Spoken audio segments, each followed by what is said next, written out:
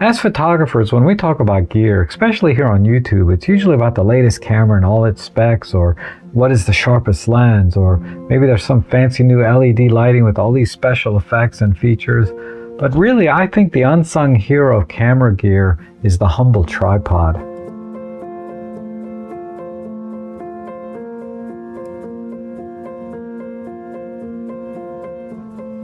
And I would argue that after you get your first camera and lens, that a tripod should be your very next purchase because it'll allow you to expand your photography in ways that no other piece of gear can do. I mean, we're talking about doing landscape photography, architectural photography, fireworks, long exposure, astrophotography, product photography, art reproduction, scanning negatives. I mean, I can't think of too many genres of photography that wouldn't benefit tremendously from using a tripod, and certainly no professional photographer could do their job without one.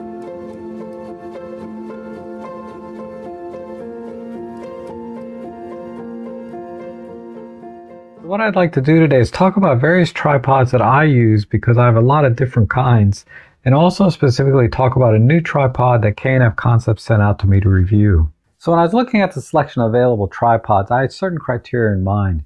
Uh, primarily, it had to be uh, travel friendly, meaning it's going to be small, compact, and lightweight. Uh, two, it had to reach a certain minimum height so that I could bring a camera up to my eye level. Three, it had to have a certain uh, stability or capability for weight capacity. And then four, it had to use the standard Arca Swiss mounting system, which is really the most compatible across all kinds of accessories like L brackets, base plates, uh, Peak Design. They all use the standard Arca Swiss mounting system. Now, when we think about traveling with a tripod, there's really two scenarios. There's, there's the one where you're traveling around the world, you're on a plane, you know, and you need to take the tripod with you in your luggage.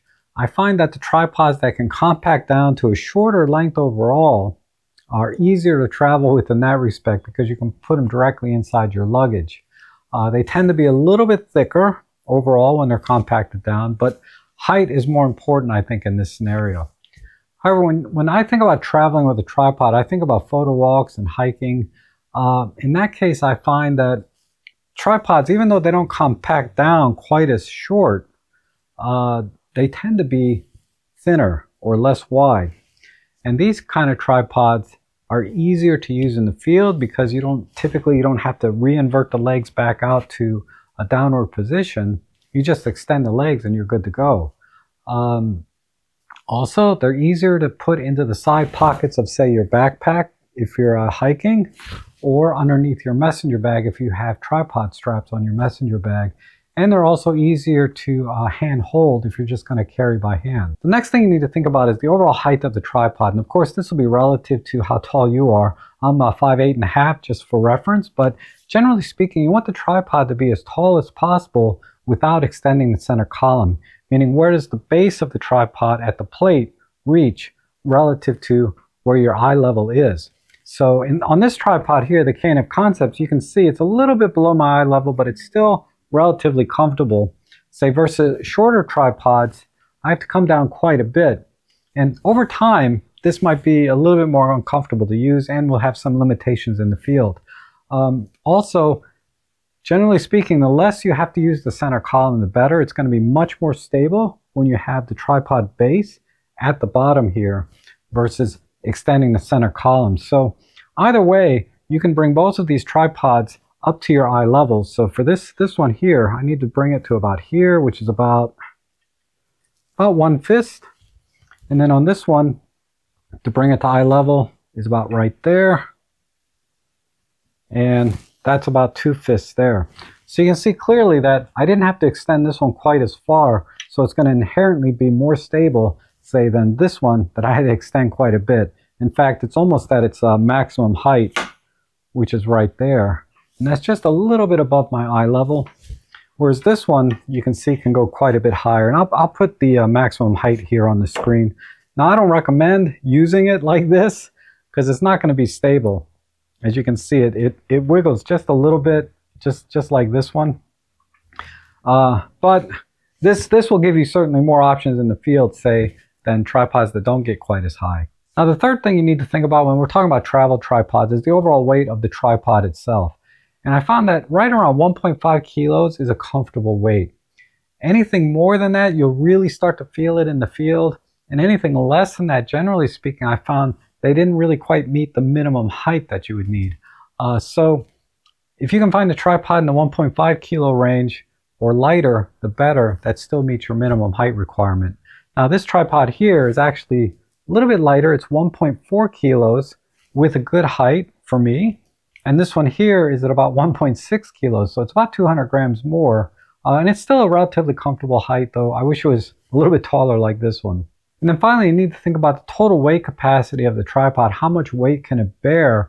And compare that to your heaviest camera and lens setup. Uh, so for example, uh, my heaviest setup would be the uh, Olympus OM1 with a 300 millimeter f4 and teleconverter.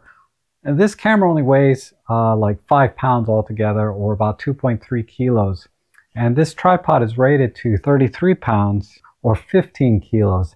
So we're well within the rated capacity of this tripod. And as a rule of thumb, I think you really don't want to go more than half the rated capacity of what you're going to be putting on a tripod. Uh, that's a much safer limit because I, I don't know how ambitious 35 pounds is on a tripod like this, or even this one is rated for uh, 17 pounds. I think that's still a little bit ambitious. Uh, I really wouldn't put anything more than, you know, maybe five pounds on this one as well. Uh, just to give you an example, this uh, camera here with lens, this weighs about 1.2 kilos or less than three pounds. So again, we're still well within the weight limit of the tripod. And part of that is because of the materials they use to build these. This is a carbon fiber tripod, and this is an all aluminum tripod, which we'll talk about in the next section. So now that we've met the basic criteria, I start to look at the uh, very specific design elements of the tripod and the features it may have. So the first thing I look for is the uh, tripod head removable, and is it included in the price? Uh, two is, is the center column reversible? Meaning, can we invert the center column and hang the camera upside down? And then three is, what is the material of the tripod? Is it aluminum or is it carbon fiber? So let's start with the tripod head.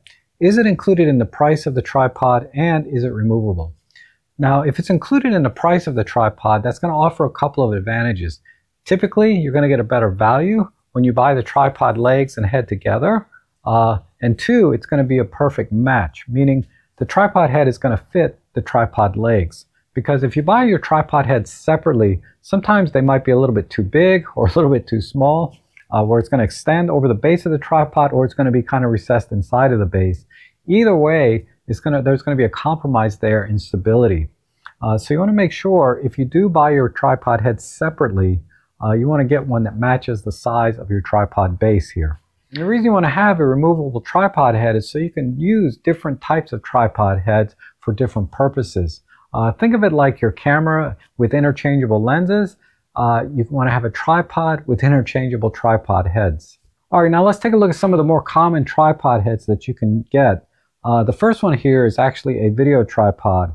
And these are typically fluid filled to allow very smooth panning left to right and also tilting up and down and they almost always have a handle attached to kind of facilitate that motion.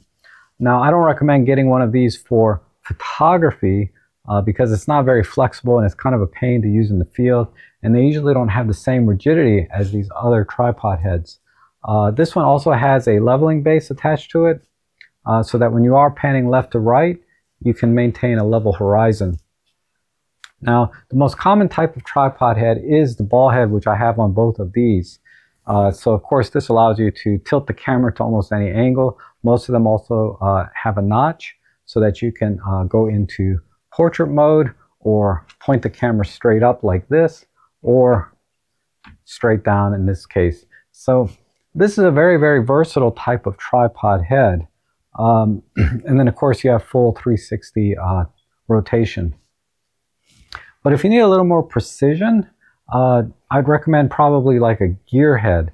Uh, this is very common like in architectural type photography, a lot of product photography, macro photography, uh, art reproduction. Um, you know, these, these are very common uses for this, even in landscapes where you want to be able to dial in separately and very precisely your X and Y axis. So I can tilt down just slightly or tilt up. So if I want to correct any kind of keystoning errors, uh, I can do that independent of the horizon. And then if I need to make adjustments to the leveling, I can sort of tilt it left or right and dial in exactly what I need. Uh, and then over here, I have more specialized type tripod head. It's not really a tripod head. It's more of an equatorial mount for mounting a tracker on for astrophotography. But the key here is that having an interchangeable tripod head is uh, gives you a lot of options in the future to change the function of your tripod to do more specialized type photography. Generally speaking for photography, I recommend you just get a ball head, uh, mainly because this gives you the maximum versatility, being able to adjust the camera to any angle, and then also, of course, you get the full uh, 360 rotation. Now, the other thing I like to look for is the uh, reversible center column. So these tripods all have reversible center columns, say for the uh, video tripod, but just to give you an example, uh, this tripod here, to uh, reverse the center column, uh, you just remove the stopper down here first, and it just unscrews. I'll just put this in my pocket, we'll loosen this, and then it pulls straight out. And then we slide it back in, like so. And then you put the stopper back in. I guess this is optional, but I always do it. Actually, I just keep the stopper in my drawer. I never take it out with me. But I make sure that I tighten this down. Because what the stopper does is it keeps the center column from falling out. And in the opposite direction, it keeps it from pulling all the way out. But that's that. Uh, K&F Concepts has come up with a much faster workflow. So I'll just demonstrate real quick. I'll loosen this. And there's a little button down here that I push to release the column. And then when I put it back in, I just push that button and we're all nice and secure. Then I just tighten this. So I don't have to worry about losing the little stopper here or leaving it at home because I don't like uh, taking it in and out. And then if I want to reverse it back to the other side, I just push the button there and snap it back in. So it's very, very fast, efficient workflow. Now, one of the things you might want to consider after the tripod's kind of met all of your other requirements is the build material of the tripod itself. And generally speaking, they come in two forms, either carbon fiber or all aluminum. And uh, carbon fiber offers a lot of advantages over aluminum tripods in that carbon fiber is five times stronger by weight and also has better dampening properties and it's also you know rust and corrosion resistant but aluminum is to some degree anyway uh, but just to give you an example, the, this K&F Concepts tripod is a carbon fiber, and uh, my MeFOTO here is all aluminum. This has a 33 pounds weight capacity and weighs uh, 3 pounds. This one here has a 17 pound weight capacity and weighs 3.6 pounds. So you can see this has a significantly higher load capacity and is lighter than its aluminum counterpart. Now, some people prefer heavier tripods for better stability, which is certainly true, uh, but you can always add weight to the tripod later, either via the hooks here on the bottom, or you can get one of those little tripod pouches that I use, and then you can add weight to add stability when you need it. And I'd much rather have a lighter, stronger tripod with me all the time, and then just add weight the few times that I need to, rather than have to lug a heavier tripod around. All right, now let's take a closer look at the K&F Concepts tripod. This is the A254C4 carbon fiber. And the reason I chose this particular tripod, say, over all of the other ones that I could have uh, chosen from is because it met all of the requirements that we've been talking about up to this point. Now, what attracted me to this model, say, over their other varieties is what they call their embedded base for pro-level stability. And what that is, is they've created sort of a concave shape or bowl here in the base of the tripod that the ball head and plate can rest into, creating additional points of contact when you tighten down the center column. So it really does feel like it makes a difference. I mean, this thing is rock solid. Uh, the other thing I really like about this is that it uses uh, spring-loaded locking clips for the angle adjustments of the legs. So that makes this really uh, a one-handed operation when you want to change the leg angle. So I'll just demonstrate real quick. I just lift it up, push the locking tab, let go, and then I can go to the next locking position, or I can push it down and go to the last locking position uh, all the way up here. And then if I want to go back to the original locking position, it automatically locks back down because it's spring-loaded and now I'm back to the uh, minimum angle.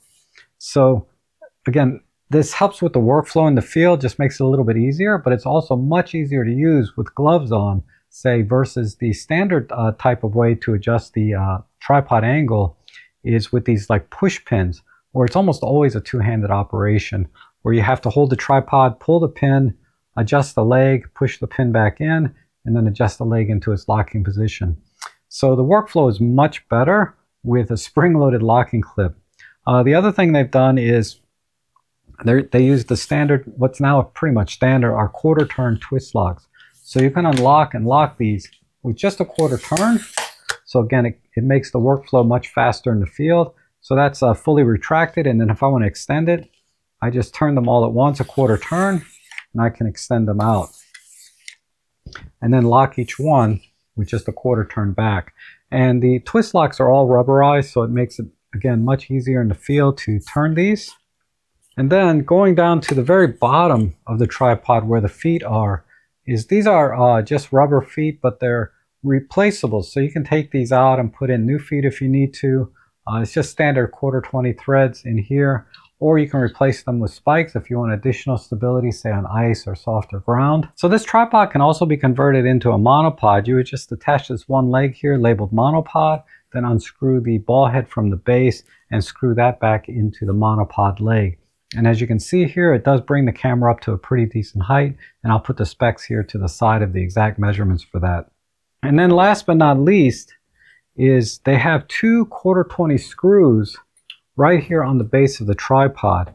So this allows you to attach accessories uh, directly to the tripod rather than say needing a cage on your camera. So if you want to attach external monitors or microphones or additional lighting, uh, you can do that directly onto the tripod. So it just gives you some extra versatility that you might not otherwise normally have.